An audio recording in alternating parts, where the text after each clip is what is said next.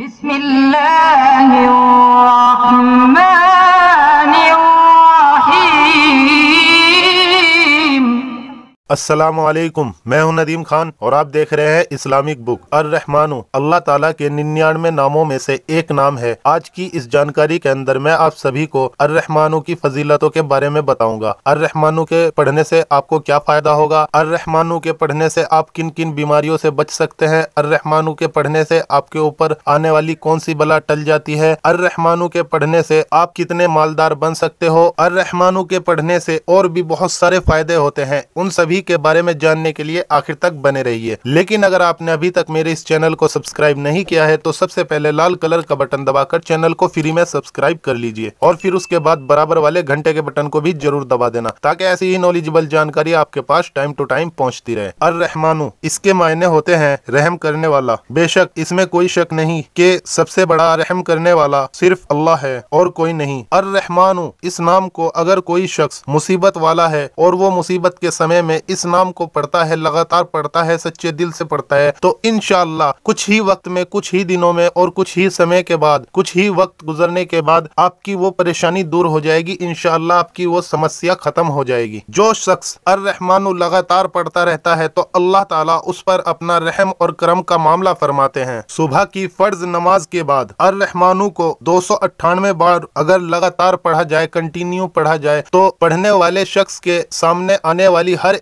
एक मुसीबत का हल खुद ही हो जाता है ऑटोमेटिक हो जाता है। अल्लाह ताला उसकी गैप से मदद करते रहते हैं। हर एक परेशानी से उसको निजात मिल जाती है, हर एक आने वाली मुसीबत टल जाती है। कोई भी मुश्किल हो, कितनी भी बड़ी मुश्किल हो, किसी भी तरह की मुश्किल हो, आपके सामने कोई भी समस्या आ रही है तो आपको सुबह के वक्त फ़र्ज़ नमाज़ के बाद दो सौ अट्ठानवे बार इस नाम को पढ़ना है और अपने लिए दुआ करनी है और अपनी उस मुश्किल का हल अल्लाह ताला से मांगना है। इनशाला इस अमल को करने के बाद आपकी हर एक मुश्किल हल होती चली जाएगी। हर एक परेशानी, हर एक मुसीबत दूर होती चली जाएगी। दुनियावी किसी भी तरह की मुश्किल हो तो अर रहमानों का विर्द करना चाहिए अर रहमानों की तस्वीर ज़्यादा से ज़्यादा पढ़नी चाहिए। आज के लिए सिर्फ़ इतना ही। आज की ये जानकारी आप सभी को कैसी लगी है, नीचे कमेंट बॉक्स में लिखकर ज़रूर बताना। और इस जानकारी को अपने दोस्तों में और रिश्तेदारों में भी ज़रूर शेयर कर देना, ताकि हर एक शख्स फ़ायदा उठा सके।